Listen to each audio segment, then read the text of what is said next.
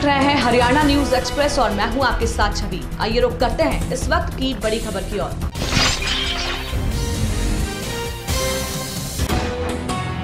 मेघालय के गवर्नर सत्यपाल मलिक चरखी दादरी में पहुँचे। इस दौरान रेस्ट हाउस पर हरियाणा पुलिस की टुकड़ी ने उन्हें गार्ड ऑफ़ ऑनर दिया। इसके बाद वो दादरी के बाबा स्वामी दाल धाम पर माथा टेकने पहुँचे।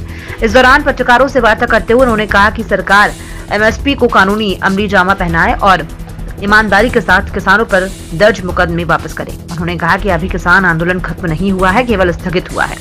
यदि किसानों के साथ अन्याय होता है तो किसान फिर आंदोलन शुरू करने को मजबूर होंगे। चरखी दादरी से हमारे संवाददाता विकास ओहलियान की रिपोर्ट। और उसमें आप एक दिन एस वाई एल ले आए। एस वाई एल से हमारा क्या मतलब? वो सरकारों के बीच में है।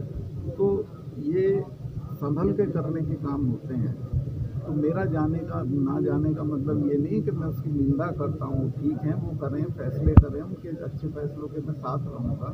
लेकिन मेरा खुद को उससे जोड़ना आज की तारीख में उचित नहीं तो सर कृषि कानून रद्द होने की बात आ गई है सब कुछ हो गया है। एमएसपी की अभी किसानों की भी आवाज़ है आप भी ये अभी बता रहे थे तो क्या करेगी को ये बात अभी नज़दीक आए हैं सरकार और प्रधानमंत्री। प्रधानमंत्री इससे ज़्यादा क्या कह सकते थे जो उन्होंने कहा? तो हमको इसका फ़ायदा उठाना चाहिए। हमको अपने पक्ष में फैसले कराने चाहिए।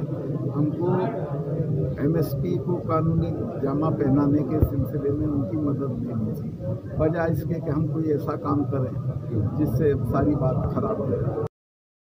हमारे फेसबुक पेज को लाइक फॉलो और शेयर करें। साथ ही यूट्यूब चैनल को लाइक करें सब्सक्राइब करें और ताज़ा खबरों के लिए बेल आइकॉन को दबाना न भूलें।